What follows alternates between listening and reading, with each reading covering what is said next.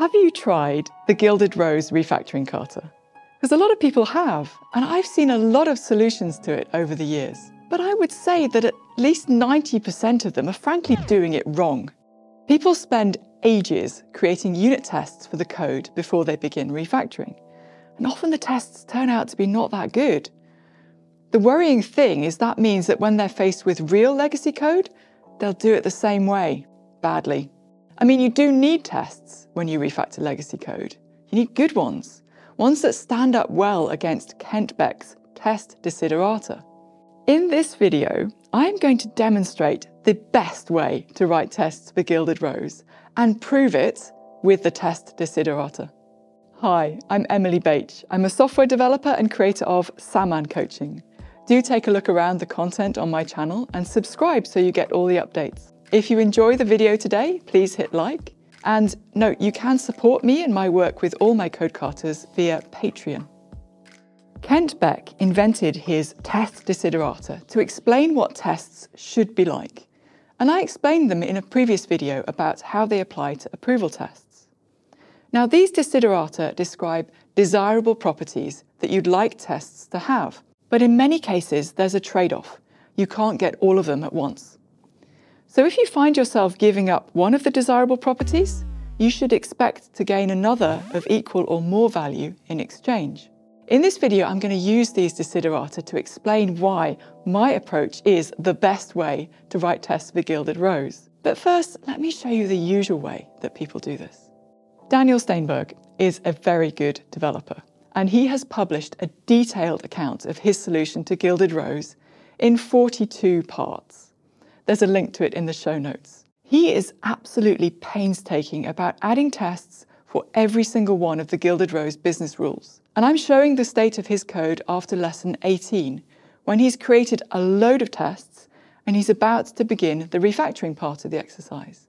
Daniel has used the Gilded Rose requirements document which describe this fantasy world where magical items react in unusual ways to the passing of time. This description is incomplete, confusing, and vague. Real life requirements may not be for fantasy objects, but otherwise, incomplete, confusing, and vague requirements is a very realistic aspect of this exercise. So Daniel goes through these very carefully and writes tests. This is an example. The quality of the item is never negative. That's the business rule. Normally, the quality of items decreases every day, but there's a limit, zero. So he's written this test that constructs an item with quality zero, he updates it and checks the quality is still zero and wasn't decreased. This looks to me like a well-written unit test. It's got a good name, good use of helper functions, a state-of-the-art fluent assertion, and it does work actually. It will find your refactoring mistakes. The trouble is, you need an awful lot of tests like this to cover the Gilded Rose functionality. There are a lot of business rules. It's actually difficult to work out how to test each one separately. I've drawn this picture that shows all of the things that can vary and influence the outcome, drawn as three axes that rules depend on.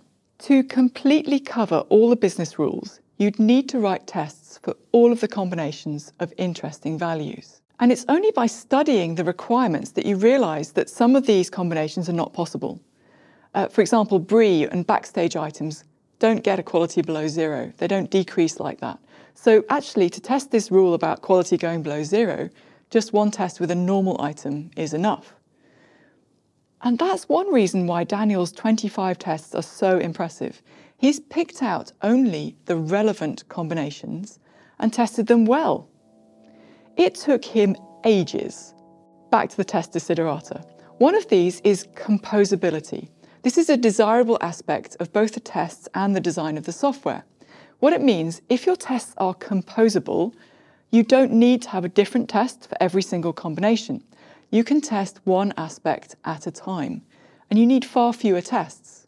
The trouble is, if your software design is not composable, you won't easily be able to write composable tests for it. And that's what Daniel and others have found here with the Gilded Rose Code. It's a tangled mess of business rules, and it's really hard to write composable unit tests for it. What we would like is the design of the code to be composable with these three axes item, type, quality, and sell-in. And then you could write just one test to check this quality is never negative rule. Something like this. I've got this quality boundaries object, and I could just apply this to all of the item types that need it.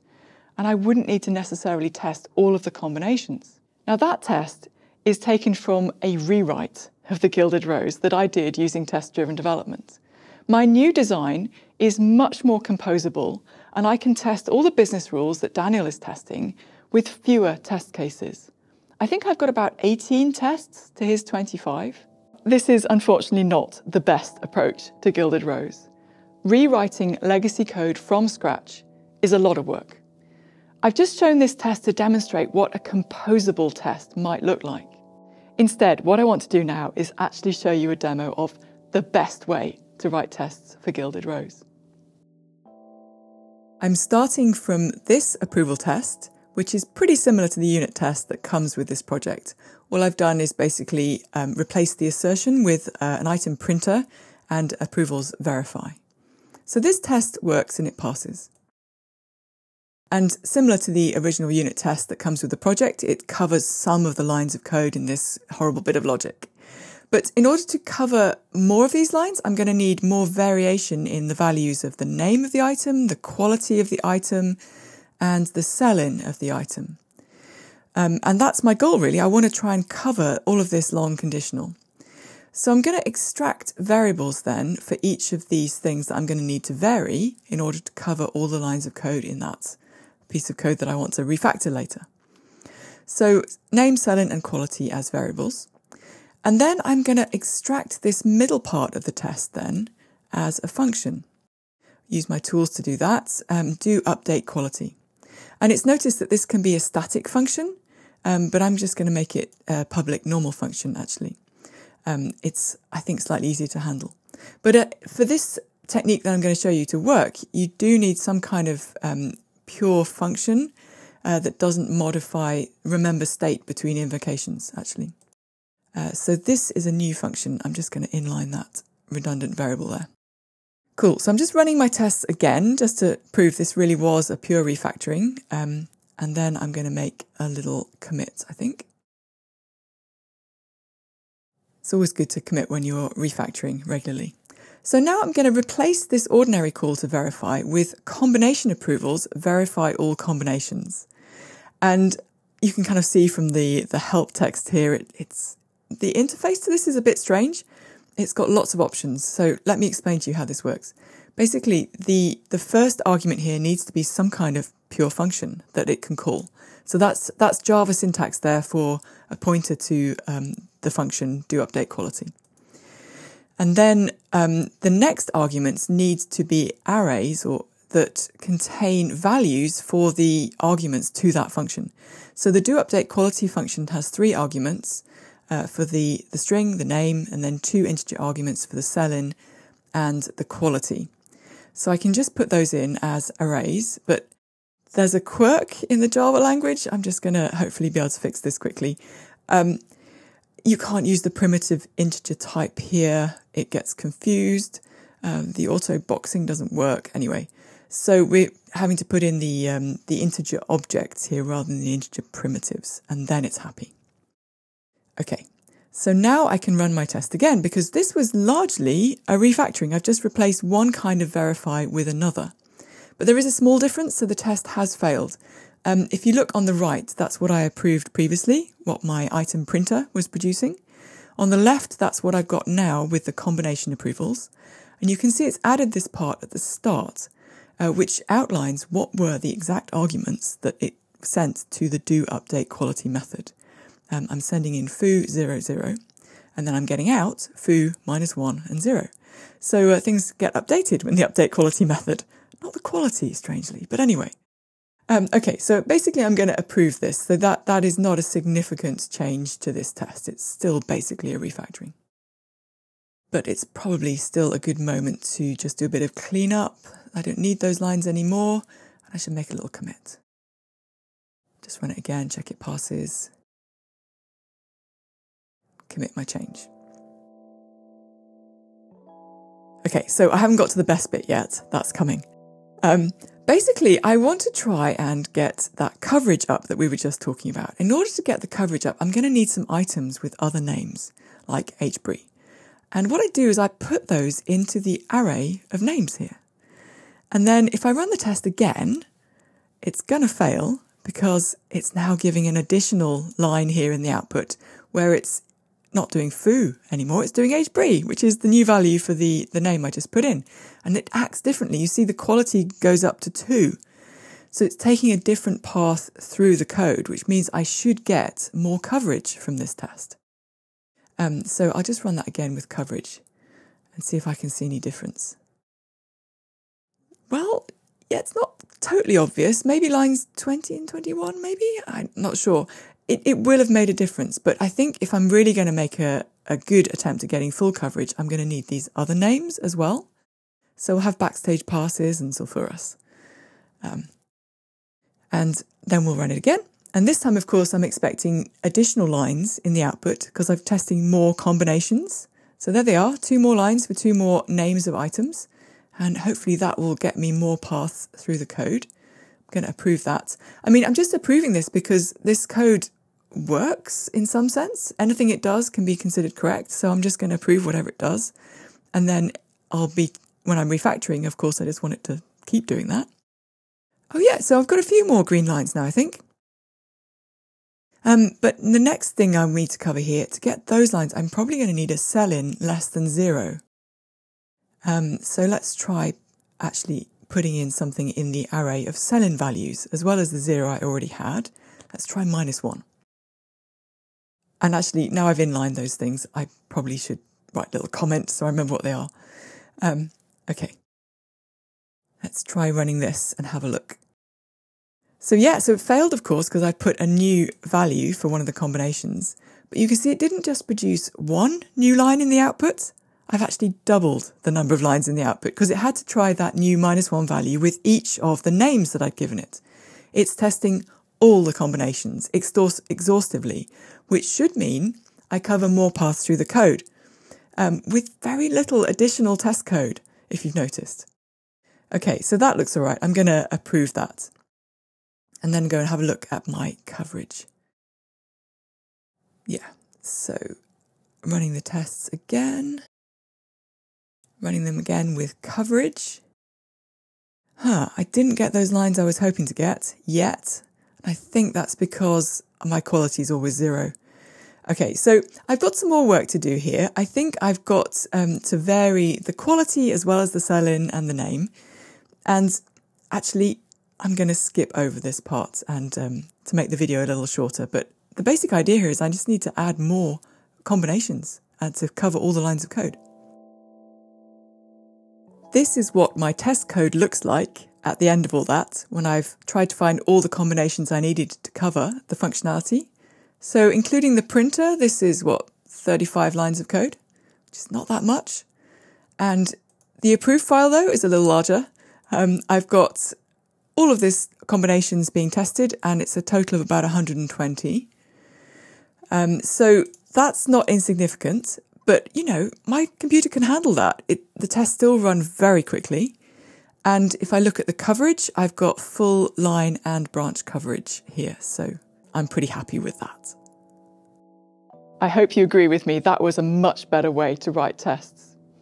And I don't know if you noticed, but I didn't look at the requirements once. The diagram that I showed you earlier with these three axes is one I drew afterwards based on these tests. I haven't needed a particularly good understanding of the business rules to get these tests in place.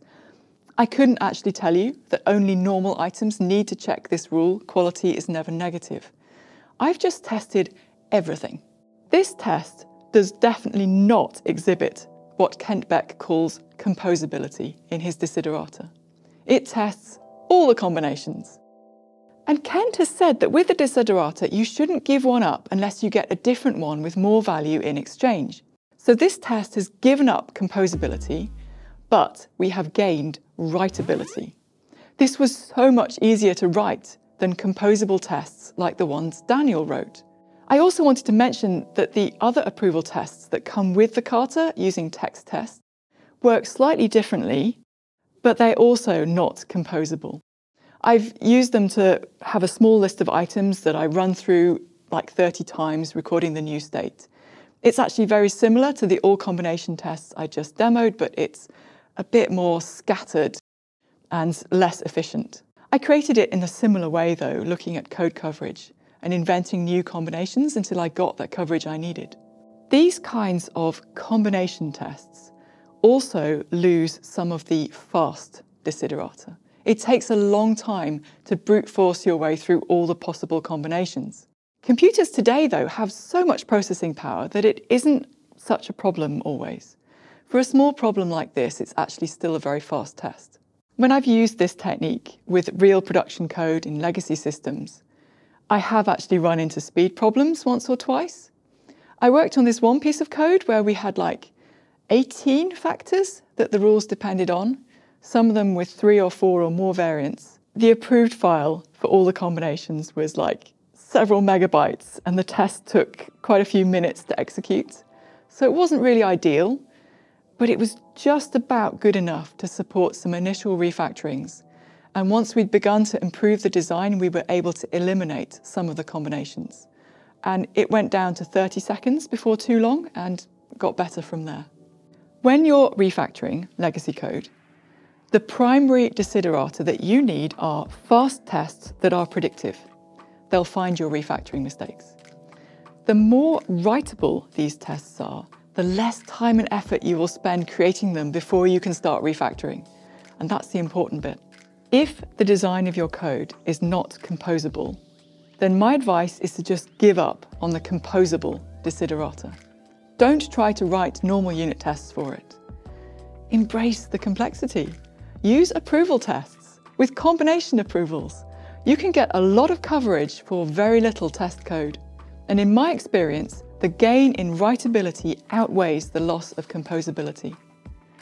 Although you do still need speed. If your combination tests get too slow, then you will have to do some analysis so you can eliminate a few of those combinations.